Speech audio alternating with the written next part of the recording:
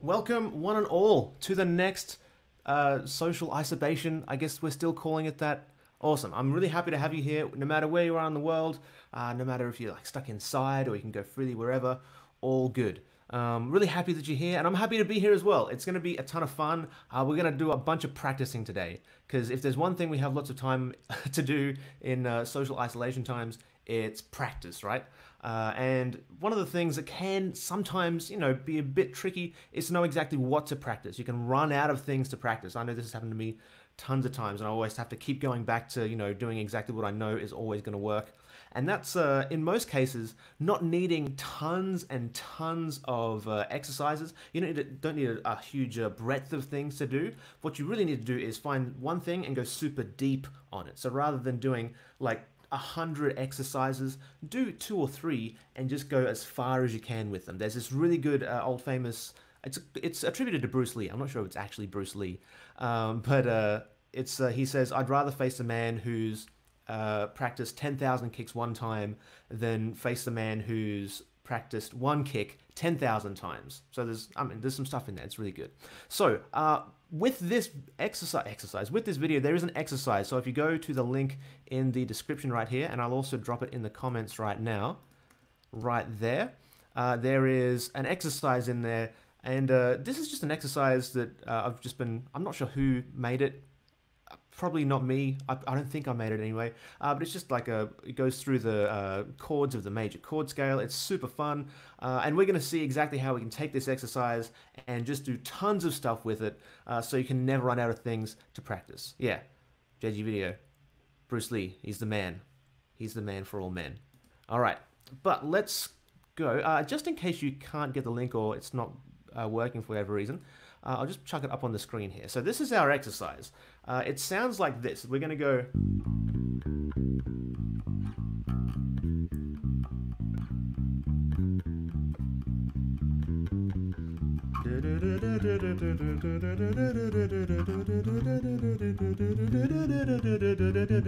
Now I'll, we'll, we'll go through like a little bit, uh, you know, more slowly than that, but that's how it sounds.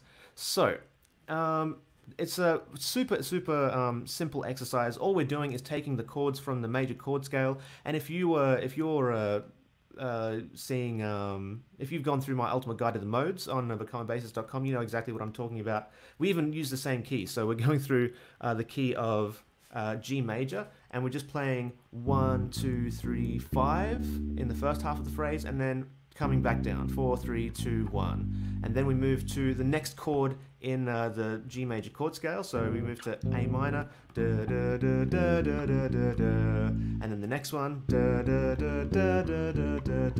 then the C chord, and then if we we'll just move this down a little bit, to the next one, then the E minor,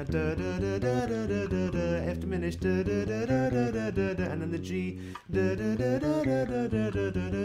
and I just put that like, I just put that in there as like a little uh, thing at the end, so it's not just kind of like ends, it's like makes it a bit more musical, hopefully. Now, uh, if you do have a bass, definitely try and uh, play along because it'll make a lot more sense than if you're just kind of looking at me playing. Uh, if not, though, you can still get a ton out of this. It's going to be fun. So, um, there's a, a, bunch of stuff that's already gone into an exercise like this, but the temptation would be to be like, okay, so I've got this exercise. Uh, that's I know how to play it. Uh, you might play it a bit faster, you might play it a bit slower. Um, but what I want to teach you is how to squeeze the juice, squeeze every single last bit of useful information and useful uh, practice out of an exercise like this. And you do that by uh, changing a whole bunch of stuff about it. So this is just one version of the exercise. And if you do have the, uh, the, the PDF that's underneath this video, uh, you'll see that there's a second one in there as well. Let's just stick to the first one for now. Now, uh, actually it might be a little bit easier if we do this right now so you can see my hands. So right now, all, all we're doing is keeping everything in one position. So that's our first phrase. We're doing the next phrase in the exact same position. We're just starting on the A, and then same in the next position. The next one.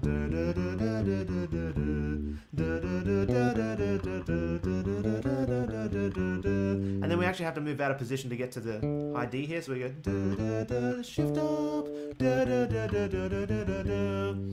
Okay, so that's a cool exercise. You know, A plus, great exercise. But um, uh, what you can do is just do different things with this exercise. You don't even need to uh, change the notes.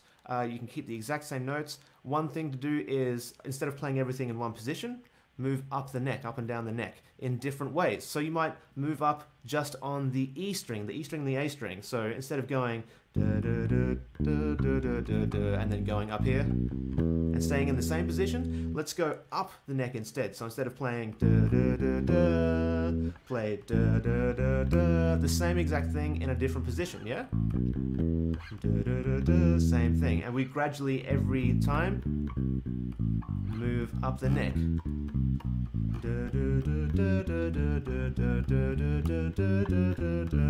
That one's a really handy one because we've got two in one position. The one on the B minor and then on the C. Move up again.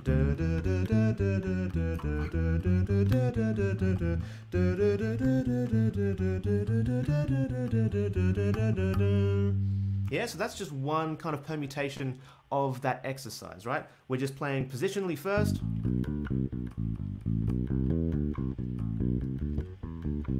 And then moving up the neck next. So already we're not only incorporating uh, the exercise in its like quote unquote purest form, which I don't, you know, that's not really a thing. You're also now working on position shifting and positional playing rather than just keeping everything in one uh, position. Now, both are totally valid. You need to be able to do both. You need to be able to play in one position and you need to be able to play all over the neck as well. But this is this is an exercise that you can do exactly that. You don't have to be stuck into one kind of uh, mold per se. Yeah. So, uh, what's another way we can do it? What can we keep playing with this idea of where things are played on the bass? What if we, instead of going up the E string, let's go up the A string. So instead of going and then moving straight up to the A there, let's um, stay in position, but instead of going up to the B here, we'll go to this B here and go up the neck from there. So we'll end up on this G right here. So we go This is the same as the first exercise. So is this. So is this. But when we get here, instead of playing the D up here, we're going to play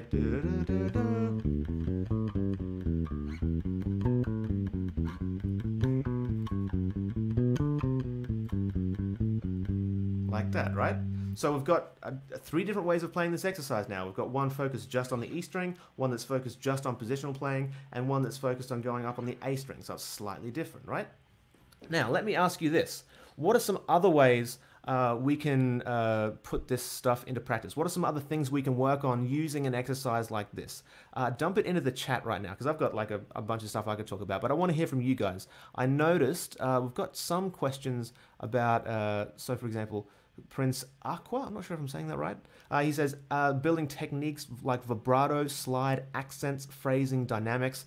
This is a great question because you can use all these different uh, exercises and basically any exercise that you're already using, there's chance, there's a really good chance that you can use it to build all these things. You can uh, use uh, vibrato, you can use slides, accents, phrasing, you can work on your dynamics. Let's try, uh, let's just try that last one, the dynamics one there. Let's take, let's take one bar, uh, play it really softly, one bar, play it really loudly, and try and increase your dynamic range. Make your quiets as quiet as possible. Make your louds like unbelievably loud, like more like, uh, uh, what's the word? Uh, obnoxious, maybe? Make it the most obnoxious kind of loud you can play. So that might look something like this. If I go down here, actually, I might just do this real quick. So the first phrase, super quiet. Second phrase, super loud. So we go.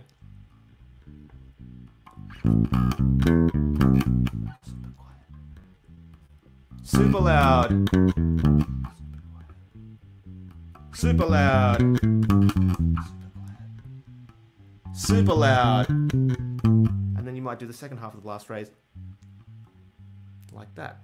Yeah, so you're taking the exact same exercise focusing on a particular part of your playing. In this case, we are talking about uh, dynamics and working that into the, uh, the the exercise itself. So, like I said, you don't need a specific exercise for all these things. You don't need a specific exercise for dynamics, for phrasing, for accents, slides. You can work them into the exercises that you're already doing. In fact, let's do that right now. Let's do um uh, oh, what would be what would be a good one? Phrasing. I'm not exactly sure uh, what you mean by phrasing. I need a little, little bit extra context. But let's imagine we're playing this as, not as a as an exercise, but as if we're playing music, as if we're playing maybe like a, a Bach cello suite or something. And you want to make this as musical as possible. You want to accent certain notes that you really want to uh, sing. You want to de-emphasize notes that aren't so uh, you know important. Uh, so let's try a bit of that. So this is a, a phrasing uh, variation. So you might go be like very like coattails, like a Bugs Bunny when he sits down at the piano. Be like, ha, phrasing.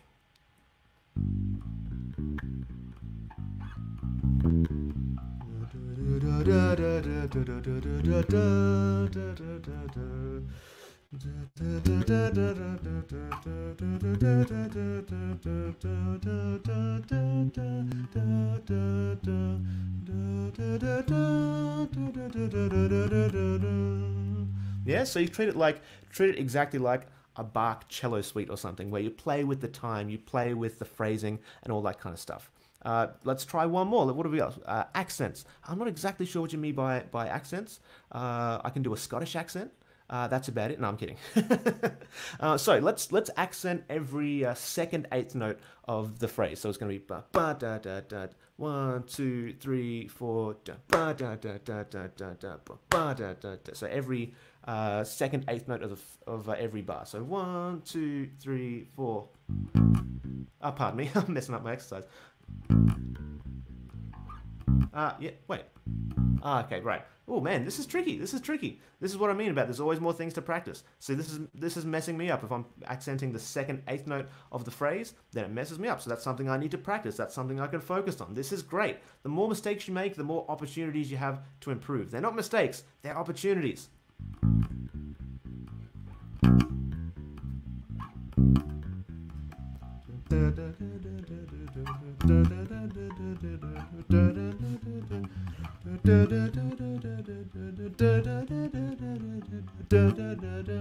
Like that, yeah?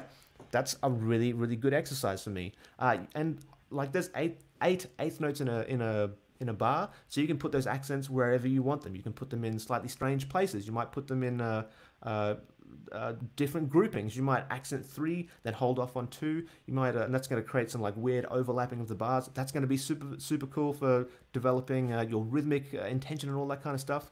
Let's try uh, another one from Prince Aqua. Let's go slides. Let's try some slides. All right, let's see. Um, let's slide. How can we slide? Okay, let's slide from the first note to the second note in every phrase. Let's see how that goes. This is this will be an interesting one. I haven't tried this before. Like I said, always more things to practice. All right, so let's go.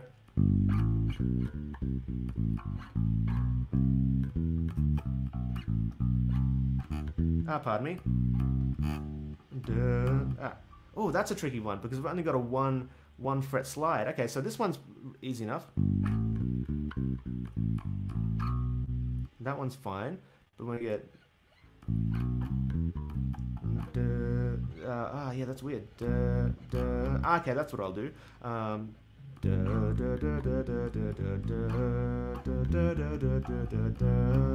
so good from the B to the C there with the index finger, sorry, the middle finger, sorry, I'm not being rude.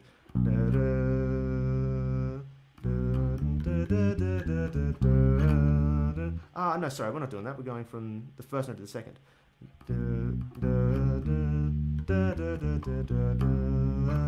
Okay,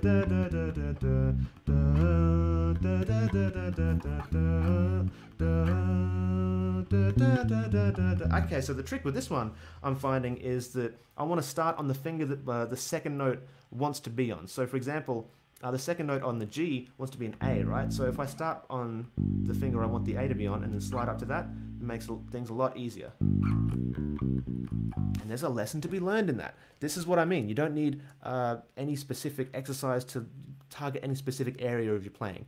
Obviously, some will naturally do that, um, but you can use all your creativity and all that stuff to make these exercises work for you and like never run out of things to practice.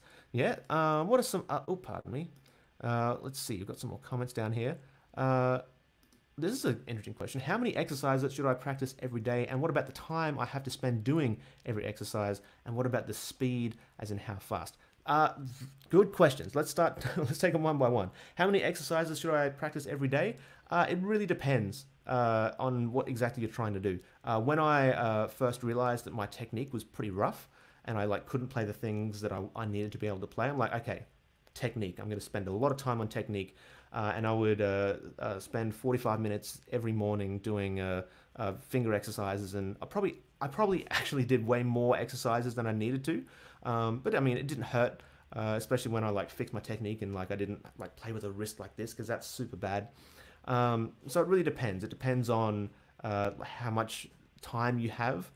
for example, if you've only got 30 minutes a day to practice and uh, you, like 25 of those minutes are taken up with exercises, uh, and you actually really just want to play songs, then I would suggest maybe less time on you know things that aren't going to inspire you to play. Because the thing that's going to improve you the most is time on the bass and good quality time. And we'll get to your next question in a bit because there's definitely some overlap there. Oh, should have brought some water. Never talked this much this early in the morning. Um, but it really will come down to how much time and what your goals are on the bass. If you just want to like kind of mess around and that's fine, you don't need to do any exercises if you don't want. If you want to get really serious and really kind of get your SHIT together, can't, can't really swear, sorry guys, uh, then you can do more and you can uh, do different exercises and different permutations of different exercises and all that kind of stuff. Uh, what about the time I have to spend doing every exercise? Uh, this is a really tricky one because you can be playing an exercise but not really getting any value out of it at all. I've talked about this book before, but there's uh, a book called The Talent Code by a guy named Daniel Coyle. Uh, and the basic premise of the book is that talent isn't something that people are generally born with. It's something that people practice and get, uh, like, gain mastery from the practice. Uh, and the trick, uh, basically, the premise of the book is the more uh, more time you spend on the edge of your comfort zone, the edge of your ability, the more useful that time and that practice is. So, uh, for example, if, if you get to this exercise, the and you actually can't physically play it, then the edge of your comfort zone is like the base level. Uh, once you get uh, to the next level and you're comfortable actually playing it, then you can start, okay, what's the next edge of my comfort zone? What's the next kind of ledge that I can go, kind of teeter on for a little bit uh, and not fall over. You don't want to be playing way beyond your capabilities because that's not helpful to anyone at all. Uh, but you want to be right on the edge. So you want to be like getting things maybe 50% of the time. You're like, oh, I made it, I played it really well. And the next time you're like, ah, I messed it up, damn it. Uh, so all that kind of thing. Uh, and what about the speed? How fast?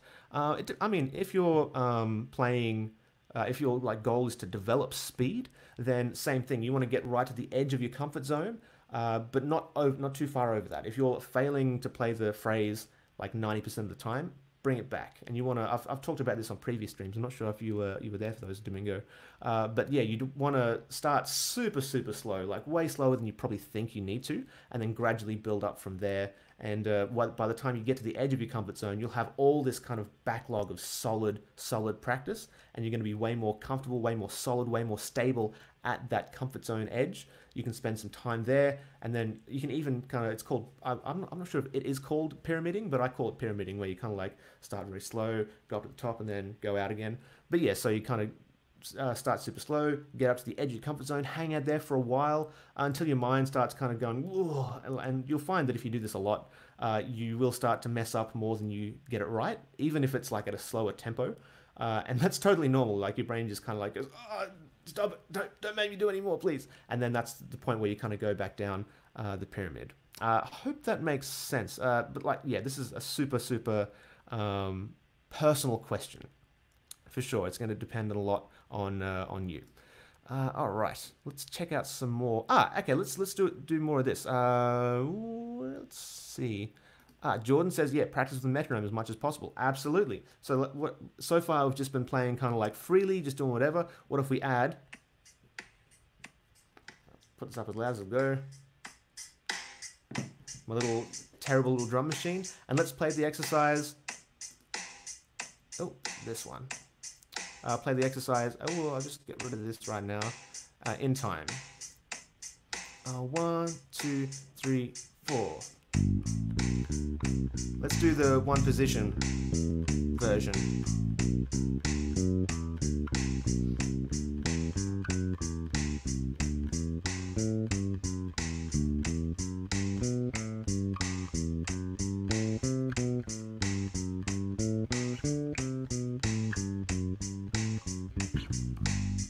I may, I may, may have changed it a little bit there. But yeah, absolutely. Play it uh, with a metronome. Uh, see if you can play it in maybe a different time signature. That works really as well. And that's without changing the, uh, the, um, the actual notes you're playing. So this, this one would actually be kind of tricky because you're playing, you've got like an eight note phrase and it works really well in four. But let's see, one, two, three, two, two, three. One two three four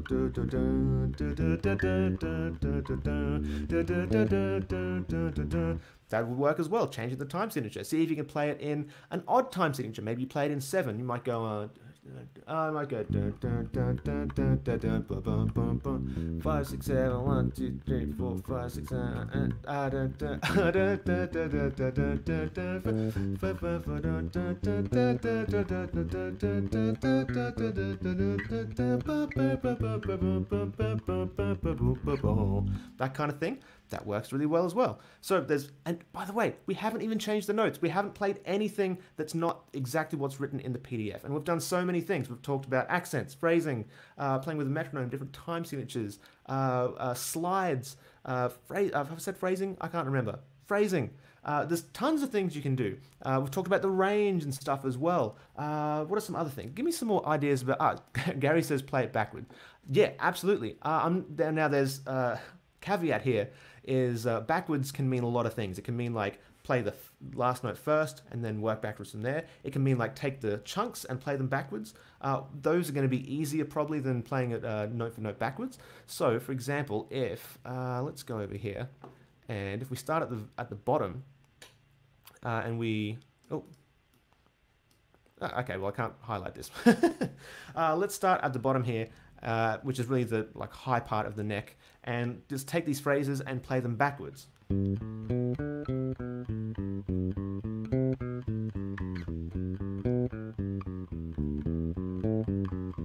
C one, oh, gotta go up here for this. Then we're working backwards from here. Pardon me. And then you could play that high, like ending phrase. You can play it down low as well. That's totally an option.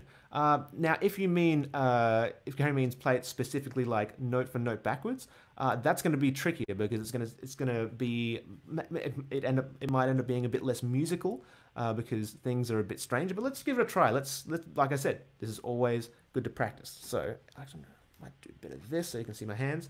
So let's go G F sharp A G F sharp G. Ah, pardon me.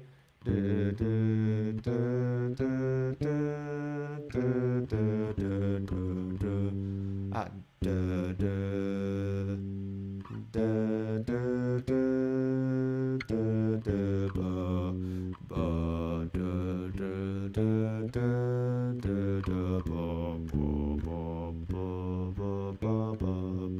pardon me. Okay, so that changes the kind of geometry of the phrase. Instead of going, um, what are we doing before? One, two, three, five, four, three, two, one. We're going one, two, three, four, five, three, two, one. And that changes the phrase. It changes the order of the notes. But that would be a totally legitimate way uh, of doing things as well. Uh, John says he always uses uh, exercises to warm up. Absolutely, uh, totally. If that's a that's a good choice. All right, let's see. Uh, ah, this is a great one. How about calling out the notes? Let's say you aren't as familiar with your fretboard as you'd like to be, and you want to use this exercise to build your fretboard. Absolutely, this is such a good idea. Oh my good, goodness, JG Video, you are a genius. That's actually, I've got like my little notes over here. That's one of the things I had written down that I was going to talk about, but I didn't expect anyone to actually say. But yeah, absolutely. So you can go through here uh, and just sing out the notes uh, just actually just say the notes as you're playing them. So go G A B, D, C, B, A, G. A, B, C, D. Uh, sorry, A, B. This is, this is tricky. A, B, C, E, D, C, B, A, B, C, D, F sharp, E, D, C, B, C, D, E, G, F sharp, E, D, C, D, E, F sharp, A, G, F sharp, E, D, E, F sharp, G, B, A, G, F sharp, E, F sharp, G, A, C, B, A, G, F sharp, F, uh, G, A, B, D, C, B, A, G. Absolutely. Great exercise. Uh, so if you're looking to learn your uh, your fretboard, you can absolutely do this. If you're like uncomfortable with different keys, for example, uh, if you're if you don't really know the the key of B, for example, put this exercise in the key of B and and yell out the notes. So you go B, C sharp, D sharp, F sharp, E, D sharp, C, C sharp, B, C sharp, D sharp, E, E, A, uh, G sharp. Oh man, this is tricky. it gets trickier the more um, sharps and flats there are because like you just want to go da da da da da da da, but you have to be like B sharp, D sharp, blah, blah, blah, blah, all that kind of stuff, which is uh, makes things a bit trickier. Uh, Jordan Anderson has a great suggestion. Sing as you play to help train your ear, uh, just like I did. Absolutely, a great example of, uh, of uh, using an exercise not to just play uh, and improve on your bass, but actually improve improve your musicianship as well. So.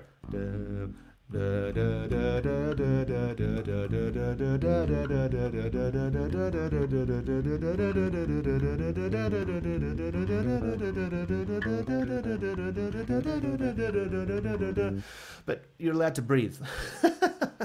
Make sure to keep breathing. I don't want you to pass out when you're playing bass. That's not going to be good for anyone.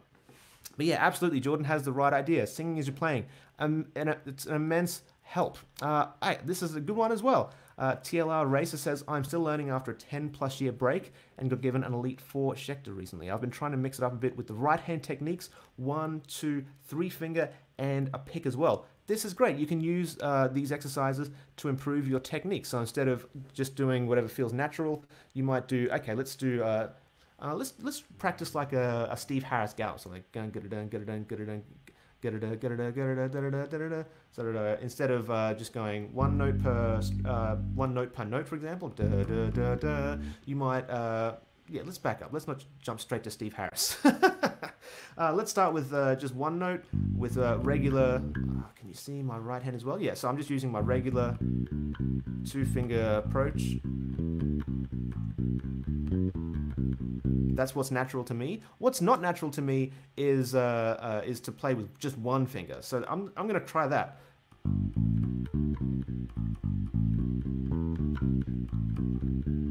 Ah, pardon me. Ah, see, this gets this gets interesting as well because I'm focusing on my right hand and I'm finding uh, mistakes in the left. This is great. Like I said, not mistakes, opportunities for improvement.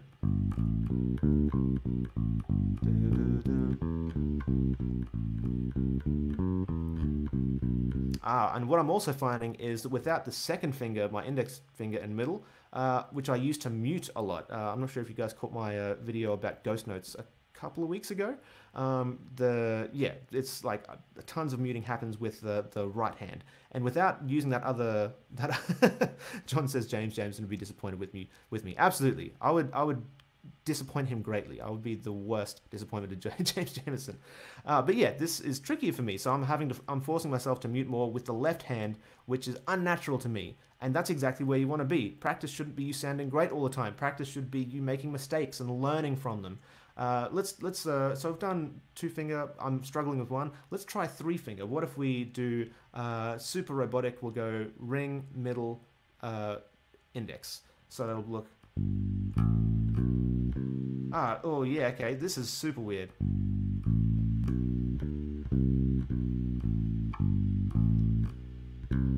Oh wait, what am I doing? Ah, so this is something that I, I have haven't really practiced at all.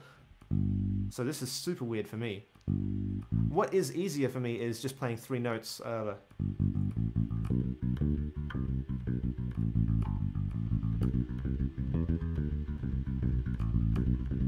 ah,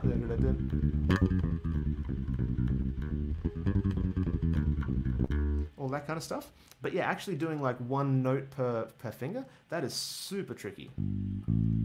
Ah, duh. So ring, middle, index, ring, middle, index, ring, middle, index, ring, middle, index, uh, index, ring, middle, index, ring.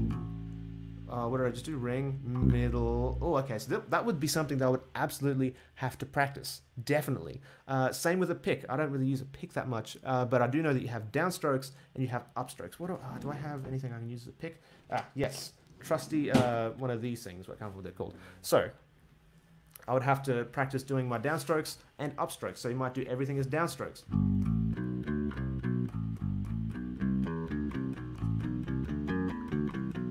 Might do that. You might do all upstrokes.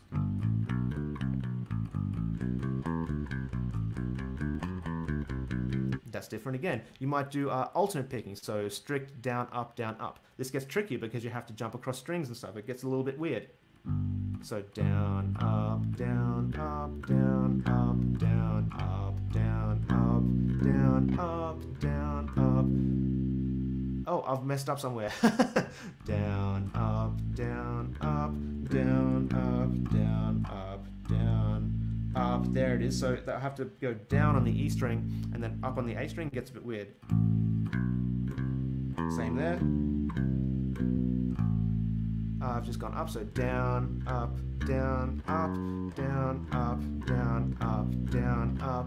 Uh, um, then my left hand messes up. So this is a great uh, way of practicing and finding uh, not flaws but weaknesses in your playing that you can then target and you can just use exercises to do this and like i said this is just using a single exercise haven't changed the notes hardly at all uh, we've just changed changed the rhythm we changed the order when i think it was oh i can't remember was it Gary? I can't remember who, who said uh, change the things and put play them in chunks and play them backwards. Absolutely. So there's so many things you can do with just one exercise. Uh, what ah, I've got some notes about, uh, haven't we? Ah, here's uh, if you do end up wanting to change the notes, uh, you can uh, do things that change the exercise slightly, but not too much. So one example is rather than playing one, two, three, five, is you can play the seventh arpeggio. So you go. So in the case of G, G, B, D, F sharp, and then come down the scale, da, da, da, da, and then that places you perfectly to play the next one, da, da, da, da, da, da, da, da, da, da, da, da. My dog's just come home. He's really excited. da, da, da, uh, what are we at?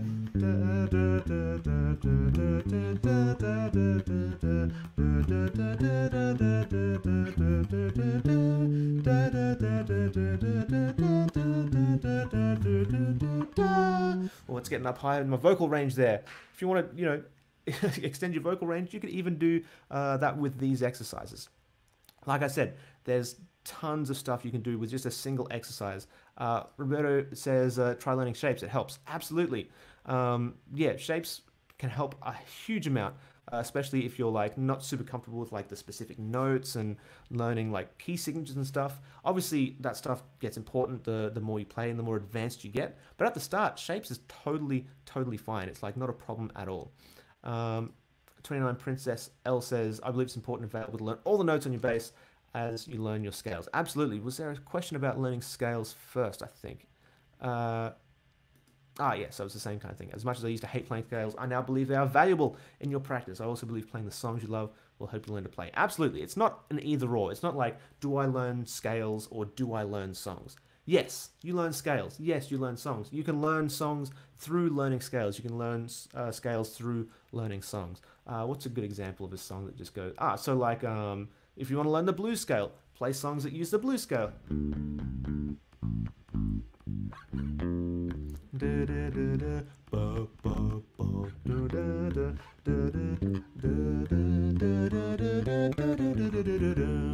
It's Your, minor, uh, your, your blues scale there. If you want to learn, for example, the minor pentatonic, there's so many bass lines that are like just minor pentatonic. You've got um, uh, uh,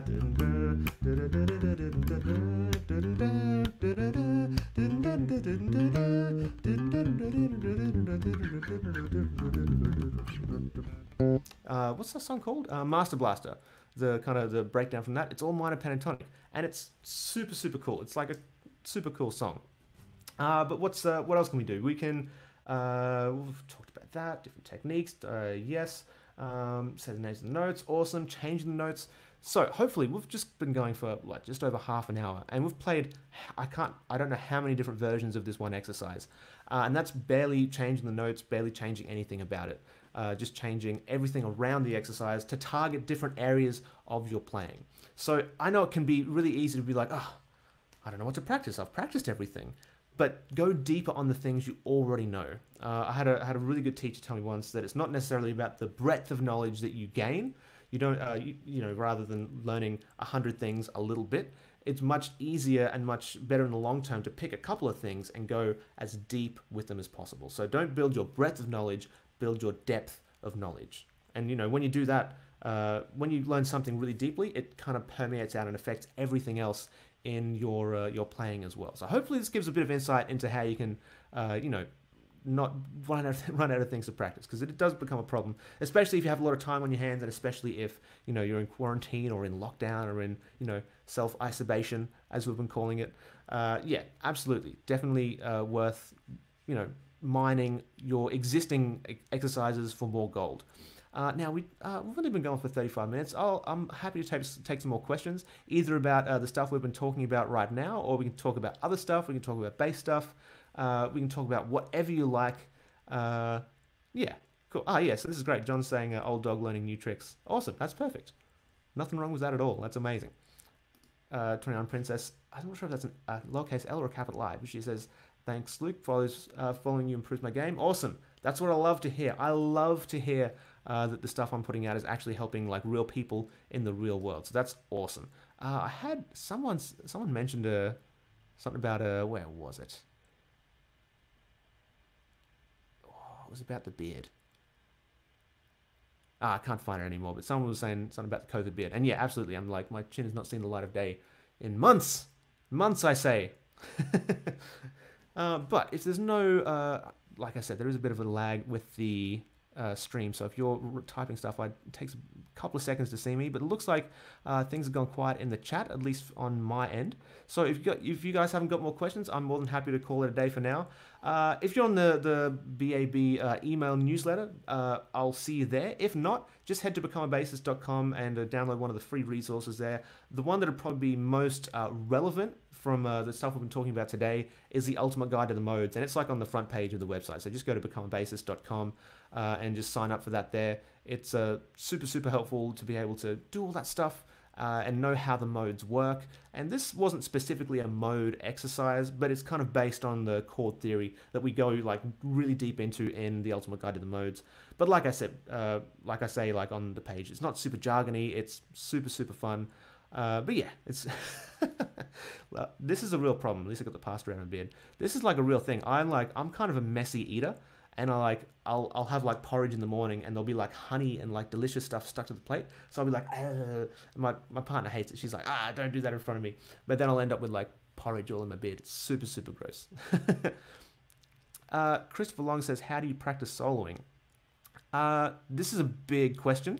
Uh, but I'll, uh, okay, so it depends on a lot of the time what kind of soloing you're doing. So, for example, if you're practicing over like a jazz standard, for example, then uh, it's going to be different than if you're like playing over a single chord vamp. Uh, there are tons of tools you can use to practice soloing. One that I use uh, or have used in the past is uh, iReal Pro. It's just like an app. You plug in chord progressions and tell it what kind of style you want. It's like a band in a box kind of thing, uh, but it's just like an app on your phone. I think it's like fifteen dollars. Uh, it's like super super helpful. I use it to make backing tracks as well, uh, and you can just it'll just play groove and stuff and play the chords, and you can play over that and hopefully sound as good as possible. Uh, now, as far as, like I said, this is a super big question. Uh, this is probably, um, actually, let's make this the the uh, subject of the next stream. So hopefully, Christopher, you can make it for the next one. But absolutely, let's let's do a how to practice soloing in the next social isolation live stream. Uh, yeah, perfect. That'll be. Rob saying, uh, "Keep leaving porridge in your bed, and I'll uh, I'll be solo." Absolutely, I will be. I'll have to have to make sure and keep looking in the mirror. But yeah, let's uh, let's make uh, the following live stream, which will be on uh, Thursday at 8:30 p.m. Uh, Eastern Daylight Time. So that's east coast of uh, the US. 10:30 a.m. if you're on Australian Eastern Standard Time. Uh, it'd be what 5:30 on the Pacific coast of the US, and it's like in the middle of the night for Europe. So if if you guys are up watching this live, you guys are awesome. But yeah, totally. Ah, Jordan also says one of the most important aspects of soloing is rhythms. Absolutely. Uh, I've actually got a couple of videos on that exact topic. But uh, if you guys, uh, are, like I said on the on the email newsletter, send me your questions about practicing soloing uh, just on an email. Uh, and if you're if uh, if you just like just saw this like as a notification on YouTube, send me an email at luke at becomeabassist.com uh, and I'd love to answer all your questions about how to practice soloing on Thursday. But let's leave it there for now. I've been saying that for a while, but let's actually do it this time. I'll follow through on my words. Uh, but thank you so thank you so much for uh, for hanging out wherever you are in the world. Big hugs, massive hugs from from uh, from me to you, and uh, I'll hopefully see you on Thursday. Have a good one. Check it out.